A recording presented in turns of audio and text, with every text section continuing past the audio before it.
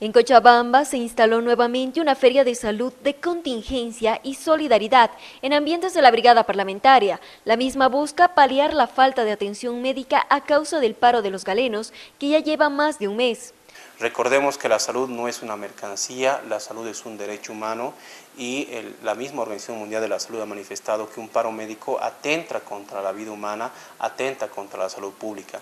En ese sentido, y fundamentalmente por un acto humanitario, por un acto de humanismo en coordinación con el Ministerio de Salud y la Brigada Parlamentaria hemos habilitado nuestra institución para poder abrirse al pueblo, poder hacer estas consultas en especialidades, pero fundamentalmente paliar en algo lo que significa la gran demanda que tiene la población.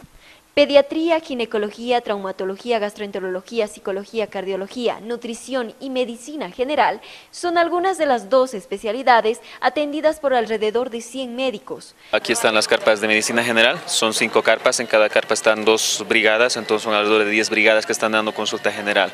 Todos los que están aquí son médicos generales. Ya, ya sean graduados en universidades bolivianas o graduados en Cuba, todos son médicos generales todos los pacientes o usuarios que vengan sí o sí tienen que entrar por alguna de estas carpas, toditos, sin excepción. Aquí se les toma signos vitales, control de medicina general y se les da la boletita de referencia para que entren a la, especialidad que están requiriendo o a la especialidad que, que, que amerite.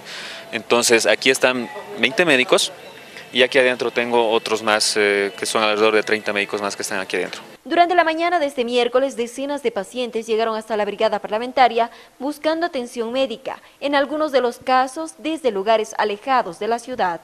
Tenía que consultar casi hace dos semanas ya, entonces como no, no hay, está en paro, viene aquí. Y no atienden, pues eso es lo único que deberían atenderlo, entonces no sé por qué razón hasta ahora no, no están de acuerdo con el gobierno. Yo trabajo en el magisterio y no tenemos opción a consultar, mira, toda la vacación va a ser el paro y nosotros qué. Nosotros trabajamos lejos y no podemos alcanzar a consultar cada día. Es demasiado perjuicio.